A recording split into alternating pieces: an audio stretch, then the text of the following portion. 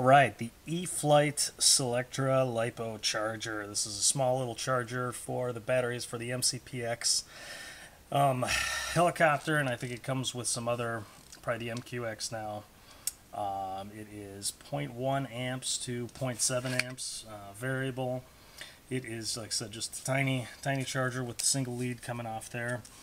Um, those little batteries that come with it, I think, are like 200 milliamp batteries which charging those at 0.7 amps, that's effectively 3.5 C. That is a little, little rich for my blood. I think you're better off with a less aggressive uh, charge rate, maybe going down to 0.2, 0.3, and you know it's going to be slower, but I think you're better off in the long run for the longevity of the batteries to go with the less aggressive charge rate and uh, you know just just buy another couple extra batteries. You'll get all the flight time flight time you need and your batteries should last a lot longer.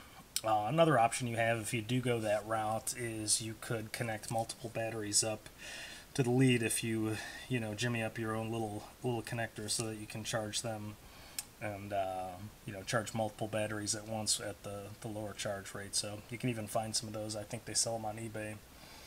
And that is it. Enjoy your flying.